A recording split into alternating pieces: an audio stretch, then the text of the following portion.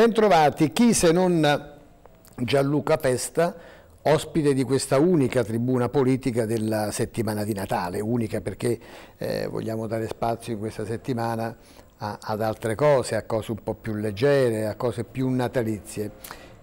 Chi se non Gianluca Festa che è diventato, ecco, voglio che ce lo dica lui, intanto buonasera Festa, buonasera. Buonasera allora, a tutti su così, eh, al di là dei presepi di Mila Martinetti, ma lei su un presepio, no? su, sul presepio politico di questa provincia, eh, come si vedrebbe?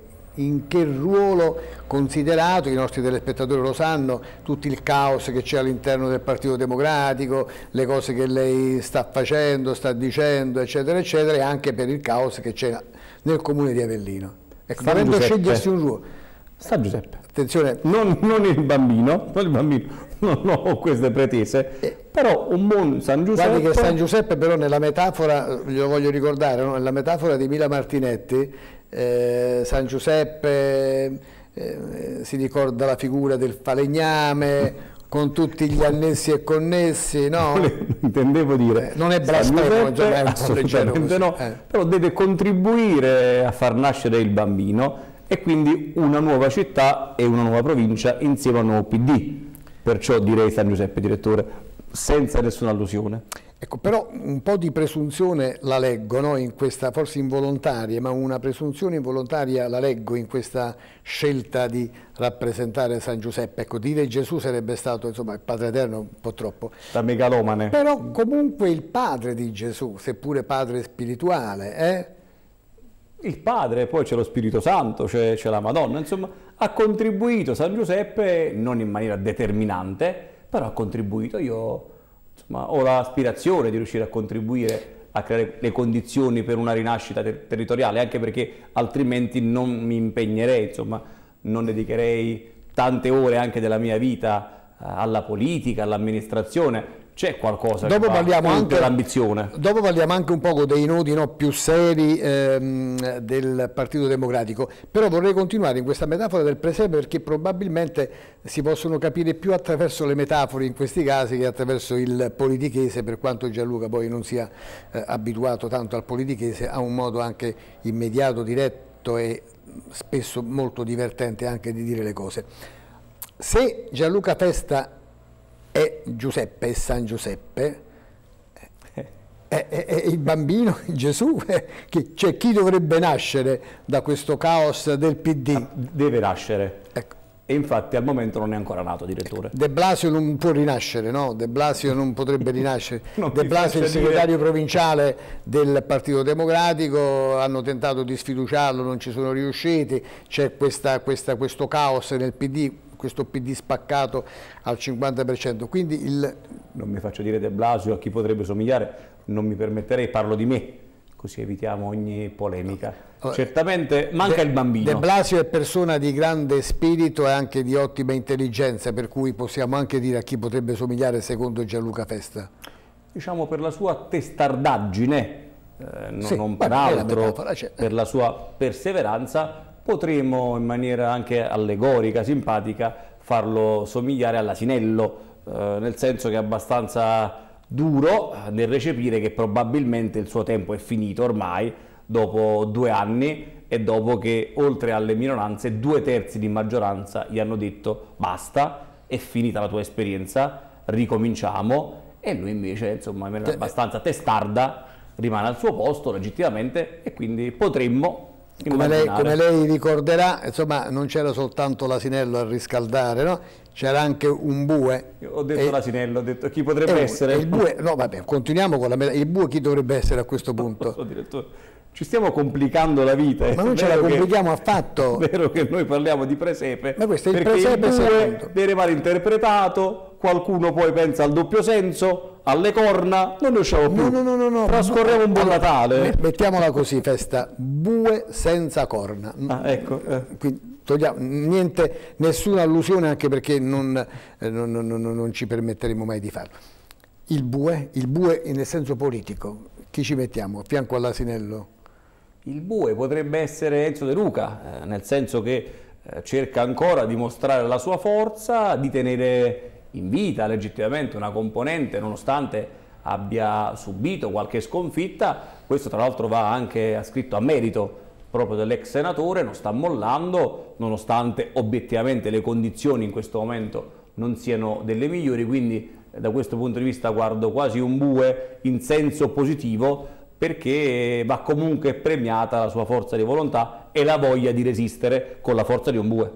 Dica la verità, sta restituendo a De Luca in qualche modo il favore, De Luca è stato il primo a dire Festa deve essere reintegrato nel partito, che sono queste cose, basta con queste... Eh? Oddio direttore, se volessi restituire qualcosa a coloro i quali hanno sancito la mia espulsione non sarebbero rose e fiori. Eh, lei giustamente mi ha sollecitato rispetto alla risposta e quella figura la vedo abbastanza attinente per forza di volontà a De Luca, ma eh, se volessi ricordare che un anno fa la mia espulsione fu voluta di fatto dalla ex maggioranza del PD, della quale facevano parte le componenti eh, eh. che fanno capo a De Luca, a Famiglietti, D'Amelio, e chi ne ha più ne mette, perché lì ci sono dalle 8 alle 10 anime, anzi c'erano, e beh, se volessi ricordarmelo non ci sarebbe scampo per nessuno. Io però eh, spesso utilizzo questa frase, sono abituato a perdonare ma a non dimenticare. perdono fa parte della vita cristiana, io sono cattolico cristiano. Senta, la, prenda, la, la, prenda, come una provocazione sempre così divertente, eccetera. Anime, ha detto 7-8, anime o animelle?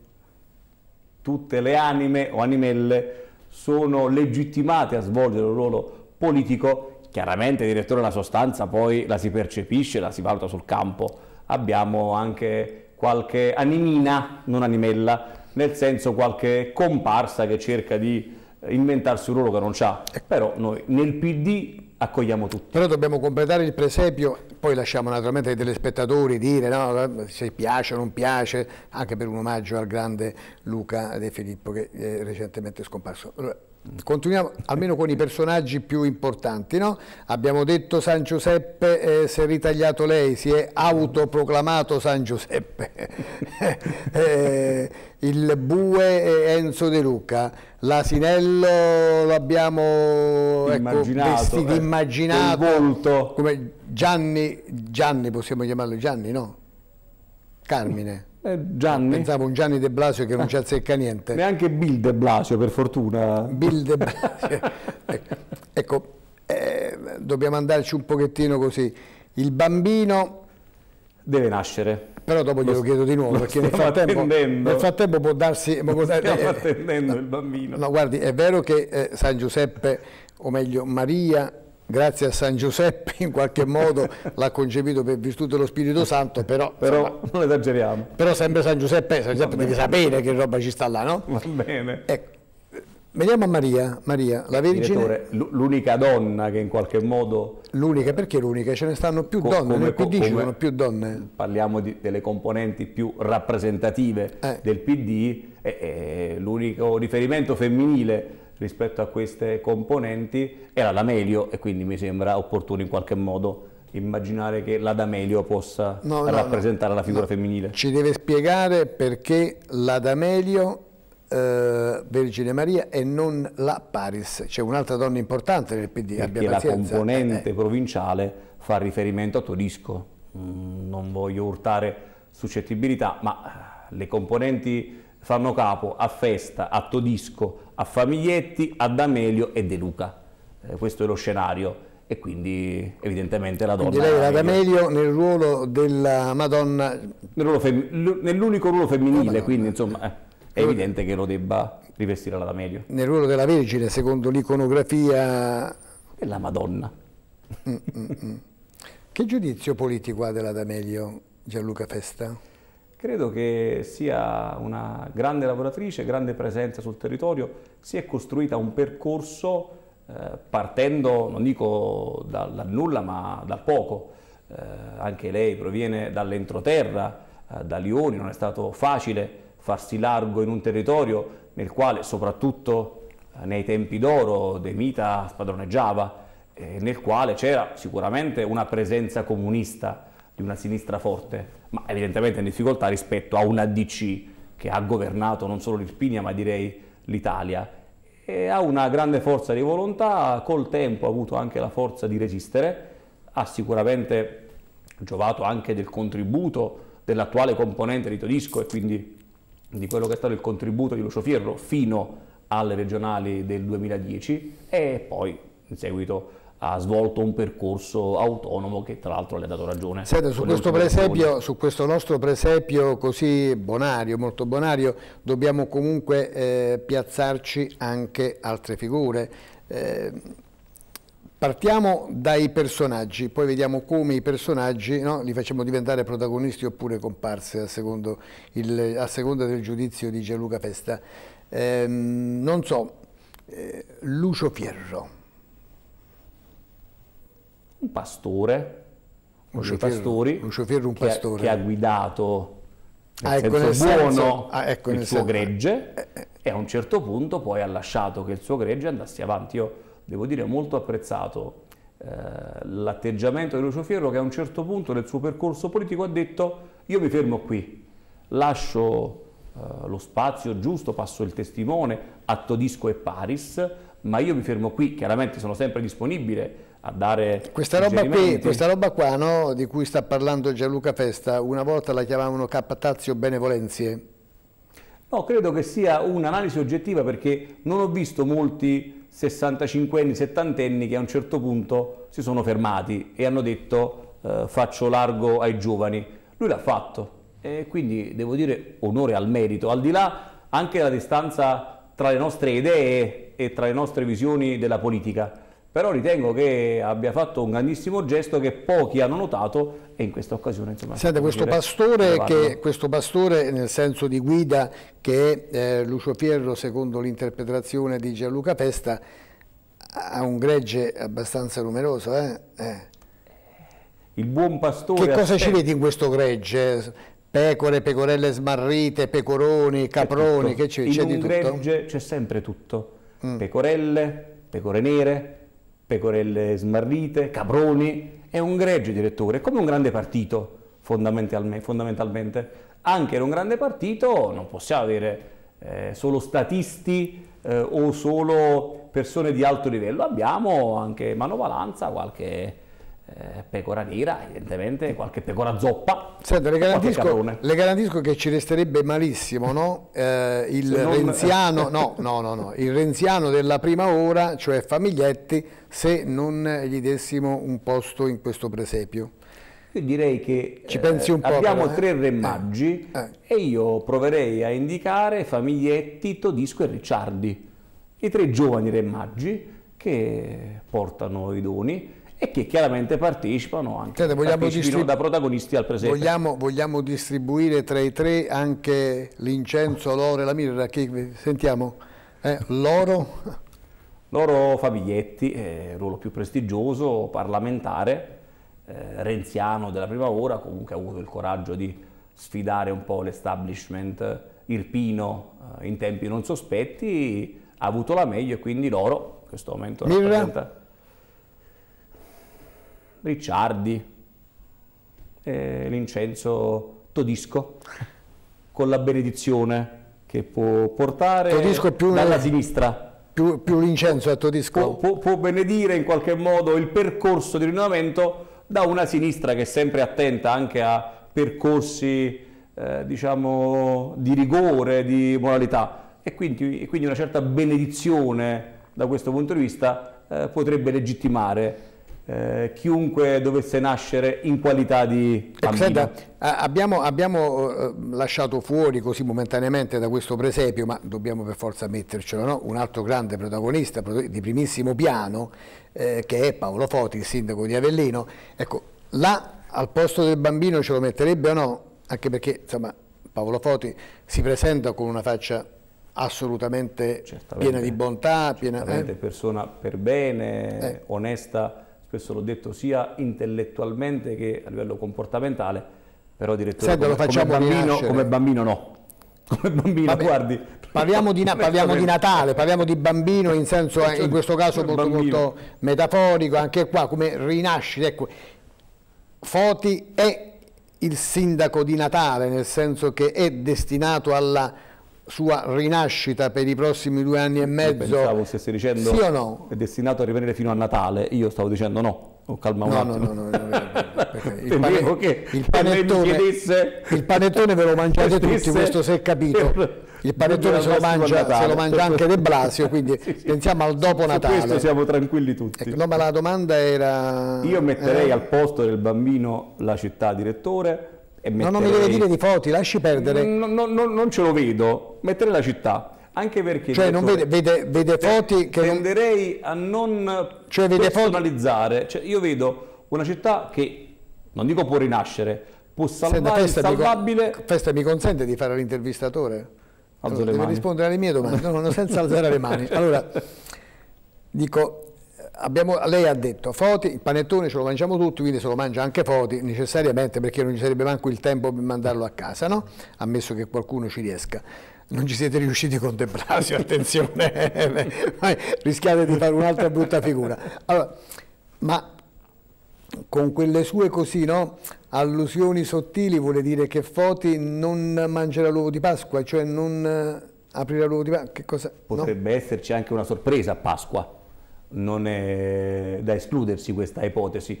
Noi lo auspichiamo, l'abbiamo detto eh, in tante occasioni, in tutti i modi. Per noi si dovrebbe andare al voto, commissariamento a febbraio, che duri tre mesi indolori, nessuno si ricorderebbe neanche il nome del commissario eh, che eventualmente eh, venisse a sostituire Foti da febbraio a maggio e a maggio avremmo una nuova amministrazione, un nuovo sindaco per rina far rinascere Avellino, per rilanciare Avellino. Quindi se ho capito bene, adesso così parliamo 5 minuti per parlare proprio di politica e di comune, se ho capito bene Gianluca Festa al di là dei presepi vorrebbe due commissari, un commissario per il PD provinciale e un commissario al comune di Avellino, ho capito bene? Più che festa la città però per quanto riguarda No, no, no, no, no, no festa, festa, festa, festa, dico... festa, non faccio l'attore con me. Allora, le voglio rispondere no, però per quello che è.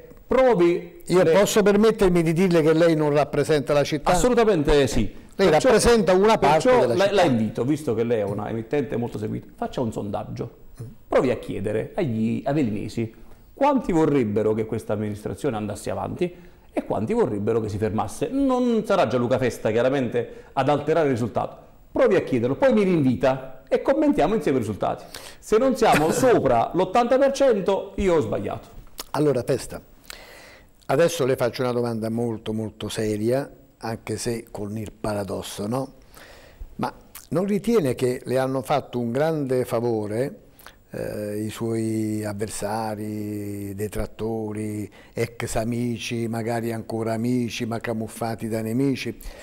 Non ritiene che le abbiano fatto un grande favore a rappresentarla involontariamente come il De Gasperi avellinese? Lei sa perfettamente che tra lei e De Gasperi c'è una anni luce, no? Eh, diciamo galassie? Eh, assolutamente sì, mi hanno fatto una grande cortesia. Io spesso scherzando, ma non troppo, dico che eh, gran parte eh, del merito della mia crescita e della nostra crescita è dovuto a De Blasio, Foti e a coloro i quali ci hanno combattuto per un anno, un anno e mezzo, cercando in tutti i modi di cancellarci, mettendo veti su di noi, non consentendoci di amministrare, di eh, essere addirittura ascoltati per un semplice confronto. Questo atteggiamento ha fatto sì che nel frattempo ci siamo rafforzati, abbiamo ottenuto una grandissima visibilità in città, abbiamo eletto in provincia, abbiamo eletto anche in regione e se continuassero direttore probabilmente eleggeremo anche in Parlamento. Sì, ma lei non si sente un pochettino a disagio, no? ma non per tornare alla polemica de, insieme a De Luca nella eh, sezione dei Verdi a Napoli, Borrelli, eccetera, eccetera, ma non si sente un po' a disagio ad essere contemporaneamente verde e rosso, al di là, no. Cioè, Io le... sono PD davvero, mi spiego meglio. Eh. Mi hanno costretto a candidarmi fuori dal PD perché mi hanno cacciato, salvo poi reintegrarmi e poiché insomma, è anche noto il rapporto tra me e il governatore che ha chiesto una mano a me e a un gruppo di amici al fine di farci organizzare una lista, abbiamo evitato per la verità di volerci candidare in una delle due liste campagna libera o De Luca Presidente, candidatura, candidatura che pure ci è stata offerta, e abbiamo invece preferito dar vita a una lista che portasse il nostro nome. Guardi, avrei eh, potuto confondermi eh, in un simbolo che non rappresentava il nostro percorso e la nostra storia. Invece abbiamo voluto presentare davvero anche in Regione, in abbinamento con i Verdi, ma con un'altra forza politica. E devo dire che in occasione del saluto che sia io eh, che il governatore abbiamo portato a questa manifestazione, De Luca ci ha ringraziato. Ha ringraziato anche il coraggio di queste persone, eh, tra cui ci sono stato anch'io, che ci hanno messo la faccia, si sono impegnate per lui. Certo, questa è storia, questa è storia passata. E quindi devo eh, dire, siamo contenti di a questo. Parte De Luca, a parte De Luca, mh, mm, Festa, eh, lei ritiene che si possa essere così, no, del PD?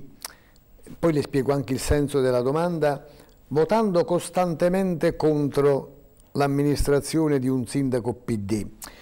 Voglio dire, secondo Gianluca Festa, se eh, fossimo stati ai tempi ancora dei partiti un poco poco seri, no? dove valevano le regole, dove le espulsioni si facevano per queste cose, magari non per le cretinate, lei poteva concedersi così il lusso di fare l'impertinente, il giovanottino senza problemi?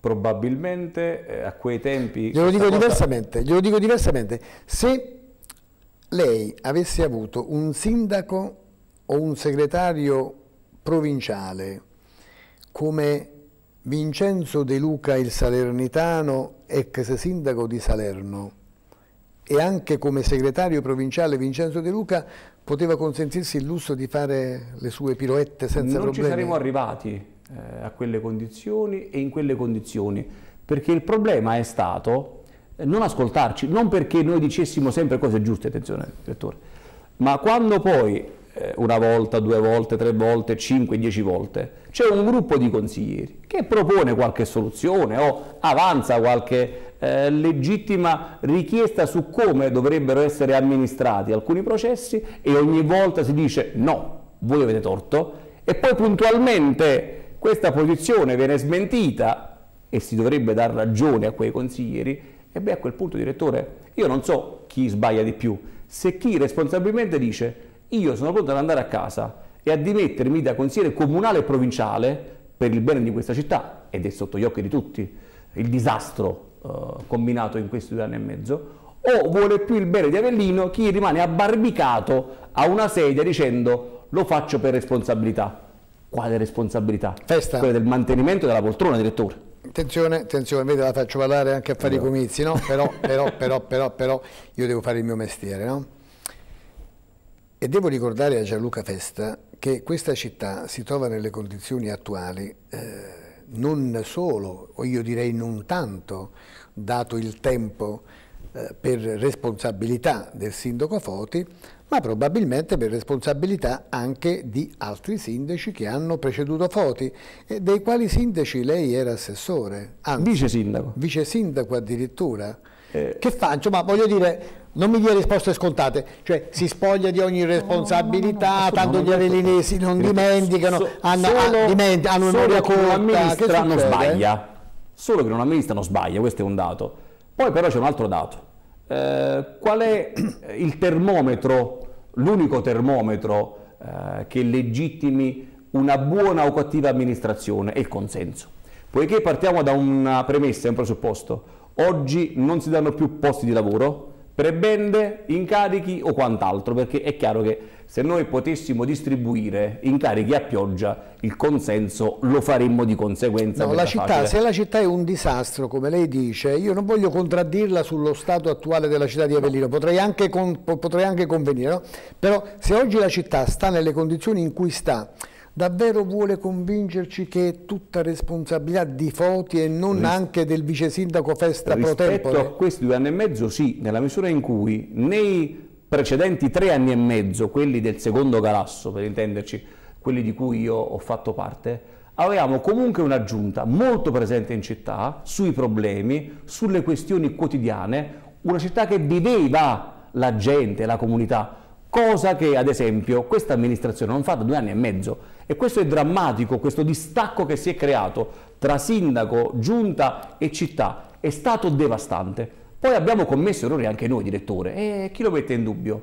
Ma distacco dalla città, cantieri ancora aperti, eh, addirittura c'è una spaccatura nella macchina amministrativa. abbiamo dirigenti e funzionari che non rispondono più alla politica, rispondono nel senso più nobile della parola. E questo di chi è colpa, direttore? Poi noi abbiamo commesso errori, però siamo stati più votati e quelli grazie ai quali Foti ha vinto, direttore. Questo lo dicevo, il termometro, cioè il consenso, ha detto che quell'amministrazione, quella del secondo Galasso, è stata straordinaria, con tutti gli errori che ha commesso e oggi viene molto rivalutata.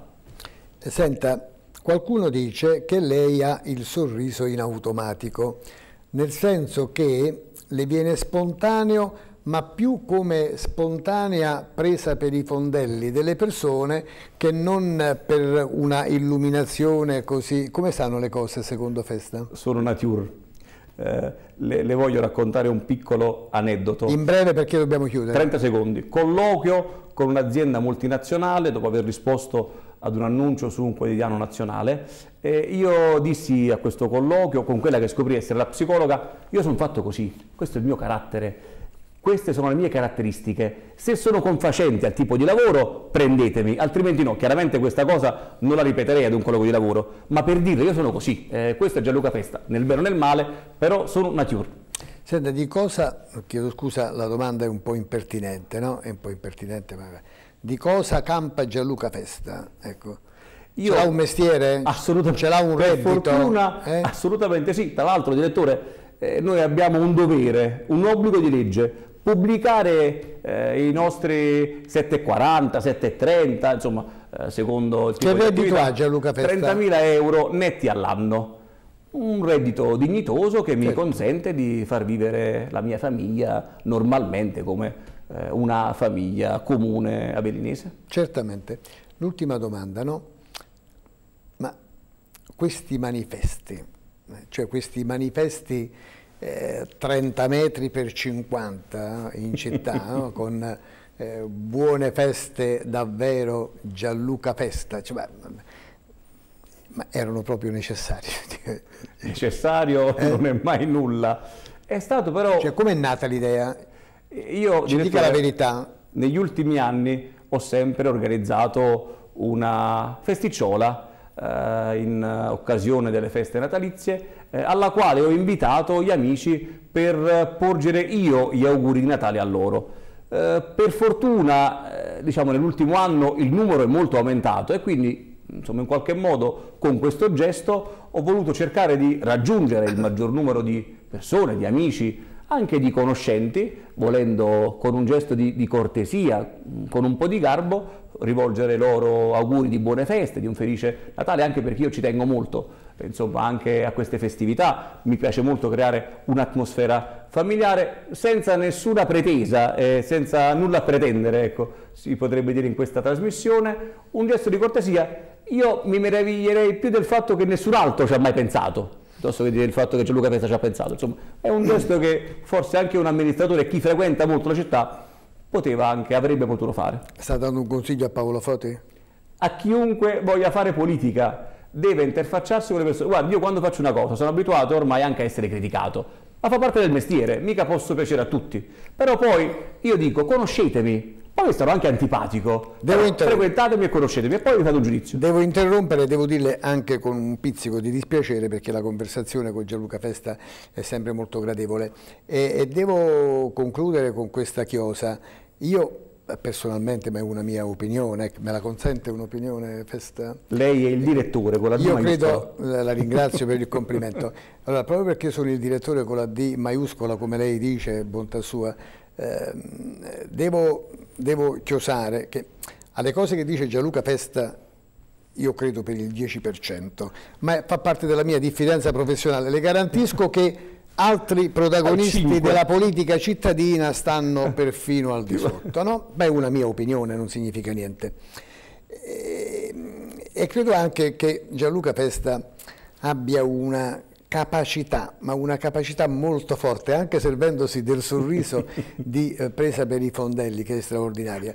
Però su una cosa non si può discutere, è una persona simpatica e forse questo già basta per, per, fargli raccogliere il consenso che raccoglie. Grazie a Gianluca Festa, grazie, grazie buon, Natale, buon, buon, pane, Natale, buon, panettone, buon panettone e eh, a noi arrivederci alla prossima puntata di Tribuna Politica, anche la prossima settimana soltanto una puntata per dare più spazio alle cose natalizie, alle cose di, di Capodanno. Bene, ancora grazie a Gianluca Festa, grazie a voi, buonasera. Grazie a voi.